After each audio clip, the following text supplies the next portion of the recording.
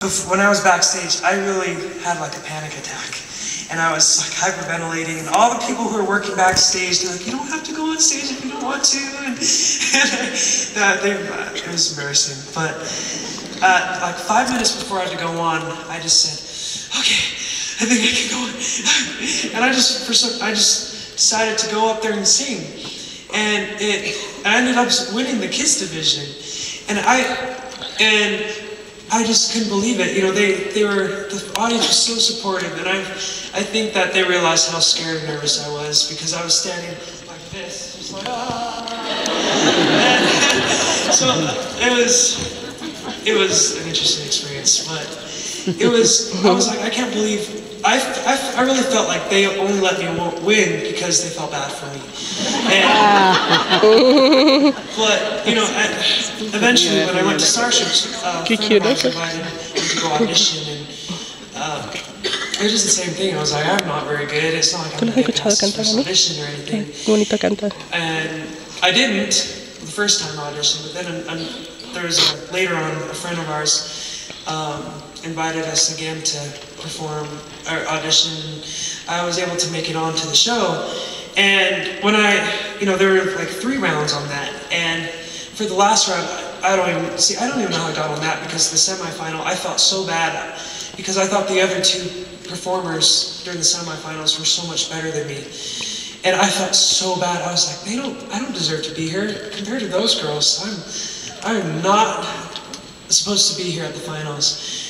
But you know, that only motivated me to make sure that I did my best. So I didn't let those, those, those amazingly talented girls down. I didn't want to let them down and say, it's like, why did he make it there? It's like I wanted to make sure that, no, I'm going to make sure I do my best so that I didn't just go here and you didn't for no reason, kind of thing. If that, I don't know if that's confusing, but when I when we went, I, I went to this uh, the final and I, I really worked hard and did my best, and I ended up winning you know the kids division again in Star Search, and I was so happy and excited. But then I saw the girl who lost, and she was so she was crying, and I felt so bad, and I started getting really upset, and I my my um my, tu- my the the the like tutor person because I was a minor who was there trying to calm me down. she was just saying, you know, it's okay, and she's she's fine, and I was like, no, she's not. She was. I was like, she should have won. I should have won. And this was right after I won, and then then my, my the tutor started crying because she felt bad. So I was just, it was a really interesting, I was- I don't know. But I was just so upset. I was like, why did I win? I didn't deserve to. But, you know, uh, you know, it's just funny to look back on because, you know, I, I became good friends with her after too. But, you know, after Star Search, I felt like because of that, it gave me hope in music and being able to sing. I was like, well, I don't know why I want or anything, but maybe I maybe music really does do something for people because music does so much for me, and there's just something that about it that makes me feel so good. And I wonder if other people can feel that because I can feel it when other people sing, and it'd be great if I could do more of that.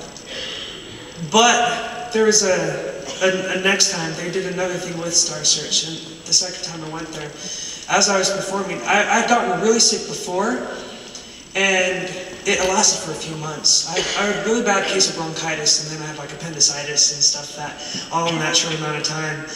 And then I went on to the next part of Star Search, and I never got better for some reason. And I was really struggling with my voice, and we are like, oh, it's just a cold. And after a few weeks, it kept getting worse. And I was really having a difficult time singing. I was like, I wonder what's happening here. So uh, we went to an ear, nose, throat doctor who was really well known in LA. And actually, the assistant at the time, he happened to be the doctor on American Idol later on, so it's kind of funny to run into him. But uh, they they scoped my throat, and we found out that I had a, a paralyzed vocal cord.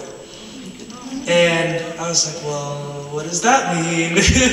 I was 13, I had never heard of a paralyzed vocal cord before, and I didn't know what that meant. but they're like, well, it's where one of your vocal cords isn't moving.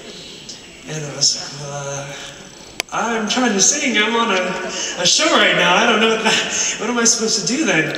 And they're like, well, we're, you know, we've never really seen this in kids before. I'm like, well, great. that sounds even better.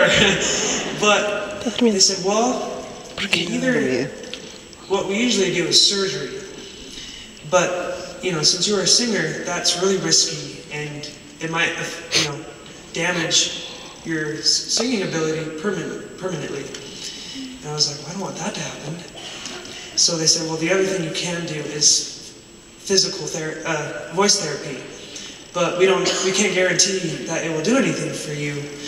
But you, that it's definitely worth a shot. And it's it's helped before. So I was kind of like, well, is that the end of music for me? I, I don't know what that means. I really was really I was really distraught to hear that, and I it, I was really I was feeling really down during that time because it's like I don't know what to do. And they said, you know, I was like, well, how long will voice therapy take? They're like, a year, two years, more than that. We don't know. And before you will see any results. And I was just so, I was feeling so down. And after Star Search, my voice was just getting worse. And I it got to a point where I could only sing one or two songs at a time. It's like, well, how am I supposed to be a singer if I can barely get through one song? So uh, that's during that time, it was just too hard to sing. And I was like, well, I think I guess that's a sign that I'm not supposed to be doing music. I guess that's a sign that I'm supposed to be doing something else. And I just kind of stopped doing music for a couple of years because things kind of died down. I couldn't really do anything. I, you know, I, I'd do things when people would ask me every now and then, but I couldn't really do much more than that. So I just was going back to school and was kind of living a normal life of a teenager, I guess, and just kind of trying to figure out what am I supposed to do with my life as a, as a kid. And that's where I was like, you know, as I was a teenager, I was getting really like frustrated with myself. I was like, what am I supposed to do with myself? Because I always wanted to do music, but I don't know how I'm supposed to do it anymore. So I guess I'm just gonna try and find other ways and see what else I can do with, uh, see if I have any other skills. Because I always thought I'm not good at anything. I'm, I, mean, I didn't even think I was good at music. But you know, now I'm so grateful to be able to, you know, perform and do music. But you know, I I was, it was like the, it was the summer of, before, you know, the American Idol auditions and stuff, and I was trying to figure out what I was going to do with myself, because all my friends had jobs, and they were all, you know, all these geniuses and doing great in school, and I go, okay, I'm cool, I'm not in any of that. But I, I finally was so happy because one of my friends invited me to start working at an amphitheater at Murray Park. And I was like, yes, I have a job finally. And I felt like, yes, I'm moving ahead in life. I have something to do with myself and be productive and make some money. And then the auditions for American Idol came up. And everyone's like, you should go audition there, you should go audition. I'm like, yeah, right. like, I'm any good for that. And it's like, I'm, I can't even get, I wouldn't be able to get through that show. You need to be able to sing well, first of all, and sing for a long time. You're that show lasts a long time. And I was like, I'd be just wasting my, my parents' money and my time going out to audition. But something kept saying, David, it's like the more I would, people would say, yeah, go audition, I'd be like, yeah, whatever, and just ignore them. The more I'd hear it, the more I'd feel, David, you should go audition. And I, at first I'd just ignore it. I was like, oh, I don't. yeah, right. but then it's, it would it got to the point where it wouldn't leave me alone. And I was like, man, I feel like I should go audition. And it wasn't, I wasn't feeling like, well, I was like, well, I, what if I waste my time? I'd have to quit my job if I went because I wasn't allowed to miss any, uh, like a certain amount of time.